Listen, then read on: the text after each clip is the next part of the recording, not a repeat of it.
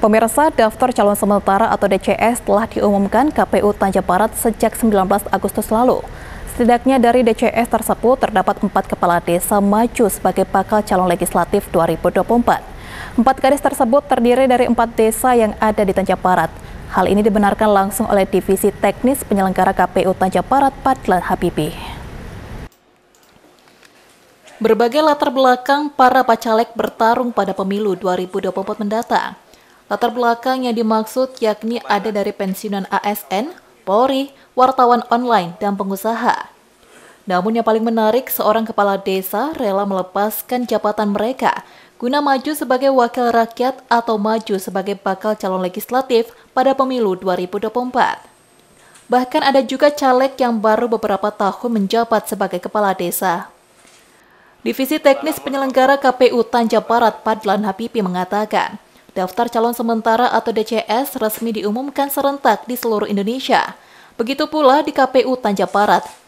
Setidaknya terdapat 17 parpol yang maju pada kontestasi politik 2024 dan terdapat ratusan bacalek 2024 dari 17 parpol tersebut.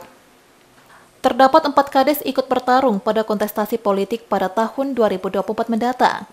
Adapun empat kades tersebut, di antaranya Kades Lubuk Bernai dari Partai PDIP, Kades Pematang Lumut dari Partai Gerindra, Kades Merlung dari Partai Gerindra, dan Kades Purwodadi dari Partai PKB. Empat kades tersebut telah memenuhi unsur sehingga pada tahapan verifikasi berkas, mereka memenuhi unsur sehingga telah ditetapkan sebagai daftar calon sementara atau DCS. Eh, kita terinformasi ada empat orang berlatar belakang kepala desa dari tiga partai dari Gerindra, dari PDIP, dan dari Partai PKB.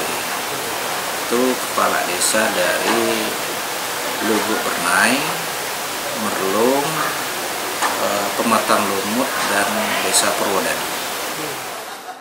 Lebih lanjut, Padla menambahkan berbagai tahapan masih cukup panjang, sebab nanti bagi empat kades mengundurkan diri wajib memiliki SK pemberhentian atau pengunduran diri, minimal ditunggu hingga bulan Oktober mendatang.